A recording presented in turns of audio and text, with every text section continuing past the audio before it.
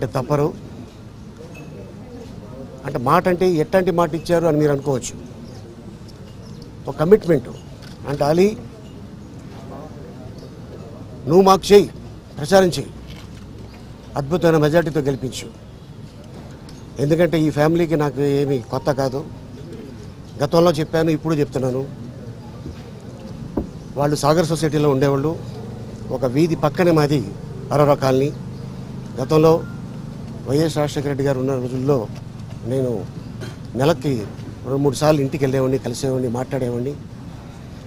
రెండు వేల నాలుగులో చెప్పా రాజశేఖర రెడ్డి గారికి సార్ ఏం టెన్షన్ పడద్దు హ్యాపీగా ఉండండి మీరే సార్ సీఎం అని చెప్పా. ఎందుకంటే పాదయాత్ర చేసిన తర్వాత ఎంత ఇంపాక్ట్ వచ్చిందో మీ అందరికీ తెలుసు. మళ్ళీ అదే మా జగన్ గారు పాదయాత్ర తర్వాత ఎంత ఇంపాక్ట్ ఉందో మీ అందరికీ తెలుసు. ఎందుకంటే జగన్ గారు వస్తే అభివృద్ధి బాగుంటుందని ప్రజలు కోరుకుంటున్నారు. ఎంతోమంది చెప్పడం జరిగింది.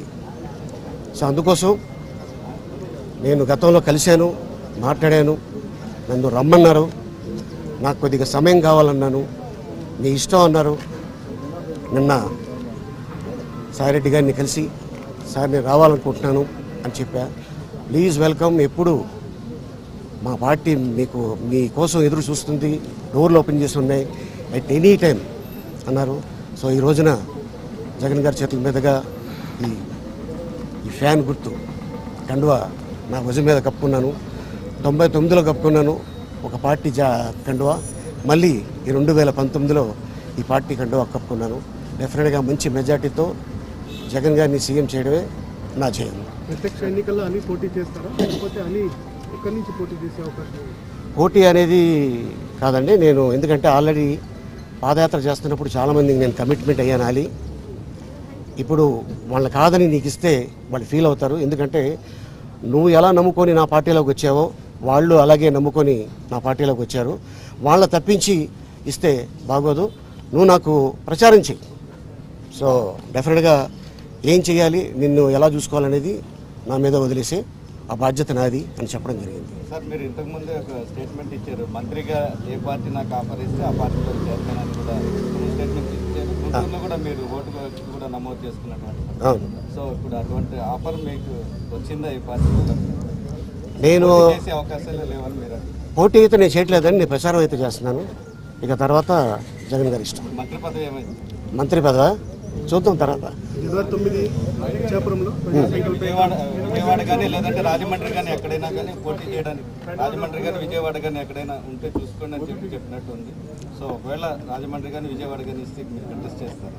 రాజమండ్రి కానీ విజయవాడ కానీ ఇస్తే తప్పకుండా కంటెస్ట్ చేస్తాను సార్ జనవరి తొమ్మిదిన ఇచ్చాపురం పాదయాత్ర ముగింపు సందర్భంగా జాయిన్ అవుతారని చెప్పి అప్పుడు అన్నారు. అది ప్రచారాలు వచ్చింది. మధ్యలో మధ్యలో మీరు చంద్రబాబు గారిని కలిశారు మళ్ళీ పవన్ కళ్యాణ్ కూడా కలిశారు మధ్య మళ్ళీ మనసు మార్చుకొని వైసీపీ వైపు వచ్చారు. అంటే ఏంటి సార్ యాక్చువల్గా అలీ యొక్క పొలిటికల్ స్ట్రాటజీ అర్థం కాదు. అది పొలిటికల్ స్ట్రాటజీ అర్థం కాలేదని కాదు. కొత్త సంవత్సరంలో అందరినీ కలిశాను. అందరినీ కలిశాను అందరితో మాట్లాడాను. మాట్లాడి విషయం చెప్పి వచ్చా. సో అందరినీ ఎలా కలిశాను? అలాగే జగన్ గారిని కలిశాను. అలాగే చంద్రబాబు గారిని కలిశాను. అలాగే పవన్ కళ్యాణ్ గారిని కూడా కలిశాను. కలిసి అందరికీ విషయం చెప్పి వచ్చా. సో ఈ క్రమంలో ఏం జరిగిందంటే ఇక నేను ముగ్గురిని ఎందుకు కలిశాను అనేది అంత అందరికీ కన్ఫ్యూజను సో విషయం చెప్పడానికి వెళ్ళా దట్స్ ఇట్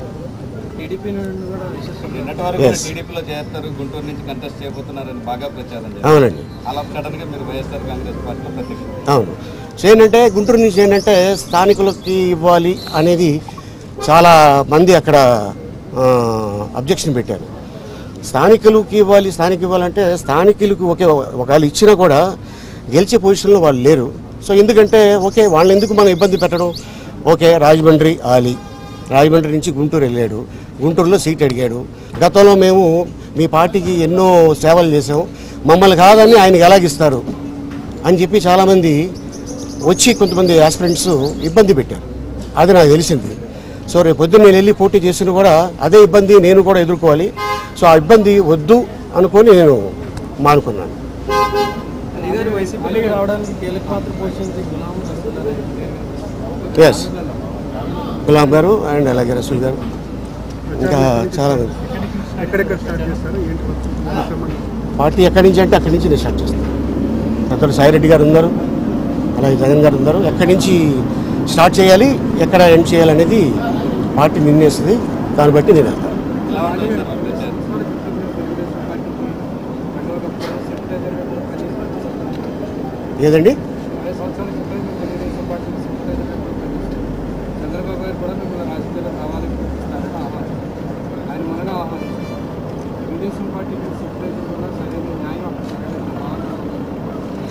న్యాయం జరగలేదని కాదు బట్ సమూహం అక్కడ ఎందుకో ఎప్పుడు వెళ్ళినా కూడా చూద్దాం చేద్దాం అనే మాటే తప్ప కాన్ఫిడెంట్గా దా నేనున్నాను నేను చూసుకుంటాను.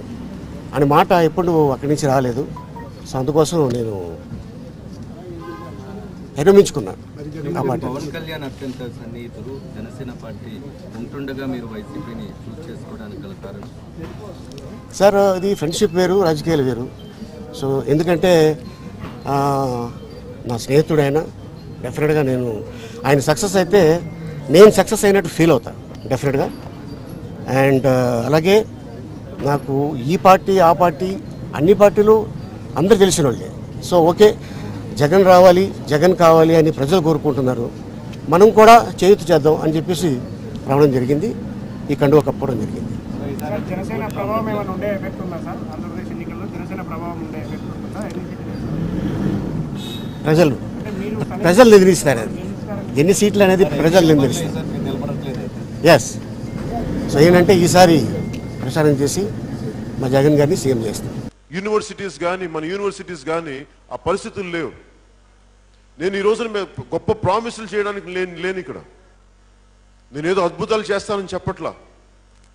కానీ నేను మీ సమస్యలను అర్థం చేసుకున్నాడుగా. మీకోసం పని చేయడానికి ఉన్నాను మీరు ఓట్లు వేస్తే వేయండి వేయకపోతే వేయకపోండి. నాకే ఇబ్బంది లేదు. ఎందుకు చెప్తున్నానంటే మీరు నాతోటి ఎంత నమ్ముతారో నాకు తెలియదు కానీ నాకు నేను పని చేసుకుంటూ వెళ్ళడానికి సిద్ధపడ్డాను. ఎవరో ఓట్లేస్తారో వెయ్యరో నాకు తెలియదు నిజంగా. ఎన్ని వేల కోట్లు కావాలి ఎలక్షన్స్ తెలియదు అంత డబ్బు లేదు. కానీ నేనేం నమ్ముతానంటే ఒక కాన్షీరామ్ గారు అనే వ్యక్తి ఇదే కర్నూలు మనం భయపడుతున్నాం కదా మనం. ఫ్యాక్షనిజం ఉంది రౌడిజం ఉందని. ఇలాంటి ఉత్తరప్రదేశ్లో ప్రతి గల్లీ గల్లీకి ప్రతి సందుకి ఒక పచ్చి రౌడీలు ఉండేవాడు అలాంటి గట్టి ఉత్తరప్రదేశ్. ఒకడే ఒకడు చిన్నపాటి సైకిల్ వేసుకొని కా ఒక లారీ టైర్లు రబ్బర్ కోసి దాన్ని చెప్పులుగా కుట్టించుకొని అలా తిరిగి తిరిగి ఊరు వాడ తిరిగి ఒక బలమైన పార్టీ స్థాపించగలిగాడు. అలాంటి వ్యక్తి అంటే నేను ఎందుకు చెప్తున్నానంటే ఒక వ్యక్తి అనుకుంటే బలంగా సంకల్పిస్తే మార్పు వచ్చేస్తుంది. చాలా మందిని ప్రభావితం చేయగలడు. నేను ఆయన స్ఫూర్తితోటే వేల కోట్లు లేవు మన దగ్గర. గొప్ప అండదండలు రాజకీయ కుటుంబం కాదు. మా తాతలు మా నాన్నలు ముఖ్యమంత్రులు కాదు. ఉన్న అన్న ఒకసారి వస్తే దెబ్బ కొట్టి పంపించేశారు. కానీ మేనైతే మర్చిపోనా కొట్టింది దెబ్బ. ఎందుకంటే మంచి వ్యక్తులు రాజకీయాల్లో రాకపోతే వచ్చే అనర్థాలు మీరు చెప్పే అనర్థాలన్నీ. ఇందాక ఇక్కడ ఎవరో మాట్లాడతా.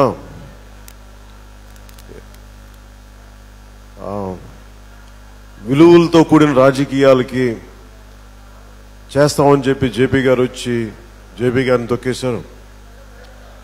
విలువలతో కూడిన రాజకీయం చేద్దాం ఉంటే చిరంజీవి గారిని తొక్కేశారు. ఇప్పుడు మీరు వచ్చారు.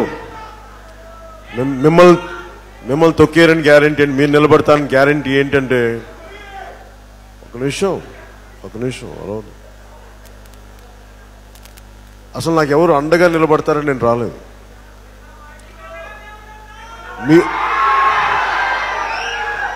అలాగే ఇందాక తను మాట్లాడితే కూడా నువ్వు మాట్లాడావు కదా. మీరేదో నాకు చేస్తారని నేను రాలా. మీరేదో నాకు అండగా నిలబడతారని రాలా. నేను నా ఇష్టంతో వచ్చాను. నాకు ప్రేమ దేశం అంటే. మీలో ఎంతమంది ఓట్లేస్తారో తెలియదు ఎంతమంది నిలబడతారో తెలియదు నాకు ఇష్టం ఎందుకంటే నేను అందరిలా కూర్చొని కథలు చెప్పను సలహాలు ఇవ్వను. నేను పని చేసుకుంటూ వెళ్ళిపోతాను. ఎందుకంటే దానికి ఉదాహరణకి మాంజీ అనే ఒక వ్యక్తి దారికి వాళ్ళ ఊరికి వెళ్ళడానికి చుట్టూ తిరిగి వెళ్ళాల్సి వస్తుందని చెప్పి ఒక చిన్నపాటి కొండ ఉంటే దాన్ని కొట్టడానికి ఒక ఇరవై సంవత్సరాల పైన తీసుకుంటాడు.